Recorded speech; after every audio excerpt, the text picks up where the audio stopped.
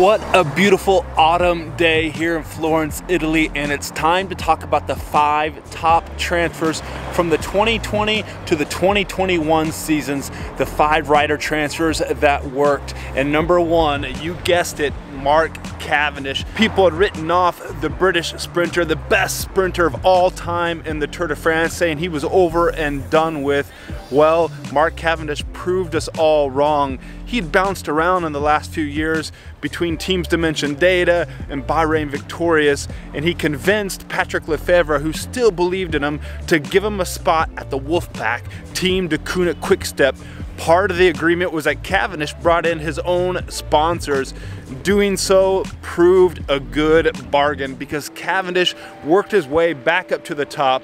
He won in the Tour of Turkey, but still not many of us believed in Mark Cavendish.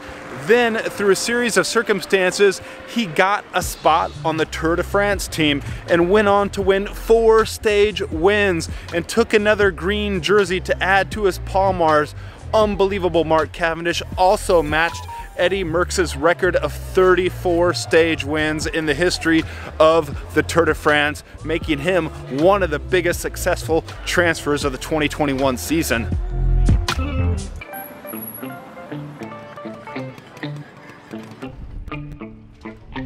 Look at this, right at Piers Ponte Vecchio, the old bridge in Florence, and I'm gonna take you over that. We're gonna talk about the Australian Ben O'Connor, a successful transfer from Team NTT Dimension Data over to Team AG2R Citroën. AG2R gave him full faith, and we saw that in the Tour de France. He was one of my favorite riders to speak with every day at the Tour de France. Always so happy, always a pleasure to speak with Ben O'Connor. And in the Tour, he did all of Australia and Perth proud. AG2R put him on the path for the Tour de France, and we saw that already in Paris-Nice. He rode well there.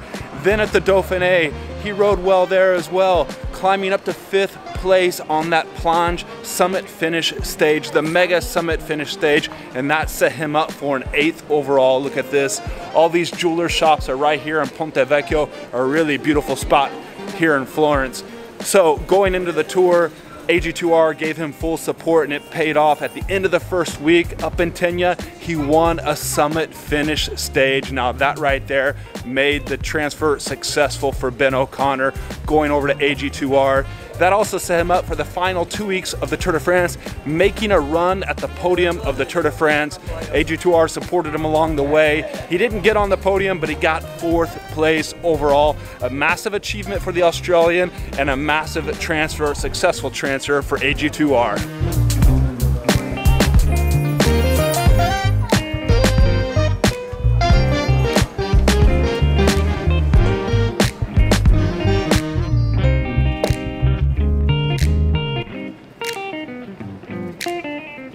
Look at this, the huge Palazzo Uffizi Art Museum. All the statues lined up there and down there. You got David as well, but I'm on the lookout for coffee.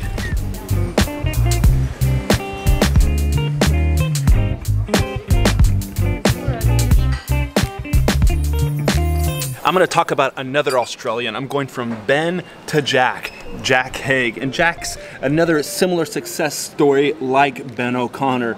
Jack Haig left Mitchelton Scott, and many people thought that was a weird move, leaving his home team, an Australian team, and going to Bahrain victorious. And in that same time, shortly after, team boss Rod Ellingworth left the team. McLaren pulled out its sponsorship. It looked pretty bad, but Jack Haig kept the faith, and he had a similar path to Ben O'Connor.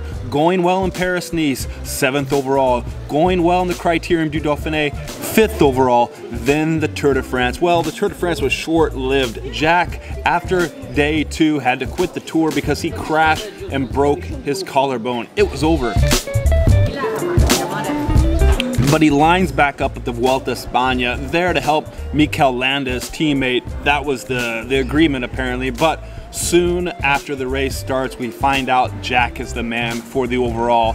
He rode steadily through the Spanish Grand Tour, a bunch of fourth and fifth places, fighting steadily for that final podium, and he made it a third place overall for the Australian. And underlining what a great signing it was for Bahrain Victorious. And you can be sure, after years of Jack Haig riding a Mitchelton Scott in the shadow of the Yates twins, now you know he's going to be the leader for Bahrain Victorious when they go into the 2022 Grand Tour season. Mm. Now let's get out of here so I can talk about the final two riders on my list of five. Now the fourth rider I have on my list is Canadian Mike Woods. He finally breaks out of the shell at EF Education and moves over to Israel Startup Nation. The Canadian co-owner Sylvan Adams signs up Michael Woods and has no regrets. Michael goes in right away on his second day of racing, stage two of the Tour du Var, wins a stage. It looks good for Mike Woods. He goes on to the Ardennes Classics, does a fifth and a fourth place overall, or a fourth and a fifth in the Flèche and Liège. Good results. Then the Tour of Romandie up at 2,000 meters, the big summit finish. Mike Wood claims victory with his hands in the air. A great victory for Mike Woods. Sylvan Adams gets on the phone to Michael Woods and says, Michael, I'm gonna need you to lead our Tour de France team because Chris Froome is not at his best. And so we're gonna need you to slot in the leadership role. So it's Michael Woods who's got the leadership position going into the biggest race of the year, the Tour de France.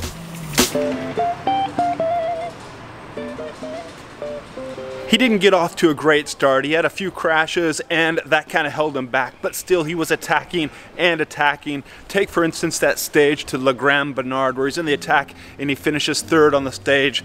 Those stages were giving him enough points where he eventually had a day in the mountains jersey, that famous polka dot jersey. But Canadian Mike Woods always had the Olympics on his mind.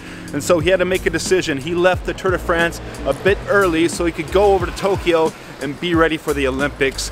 In that road race that was eventually won by Richard Carapaz, Michael Woods finishes fifth. A great result and a great strong season. His first season at Israel Startup Nation and for sure the team was happy with that, especially with Chris Froome not going at his best this 2021 year and a great transfer, Mike Woods over at Israel Startup Nation.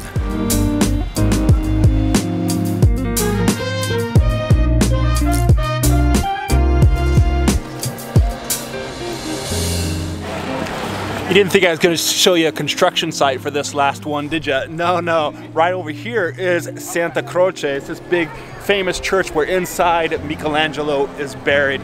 Now let's keep on the theme of Australians for Richie Porte. Richie Porte moved back to Team Ineos Grenadiers after spending two seasons in Trek Segafredo, and his last one was a good one because he finished third on the podium at the Tour de France. Ineos is bringing the 36-year-old Tasmanian over to do what he does best, not to lead the GC team and grand tours, but to go for those week-long stage races, and it worked out quite well because in Catalunya, he finishes second overall to teammate Adam Yates. In the Tour Romandie, second to another teammate, Geraint Thomas. Look at that, amazing, huh?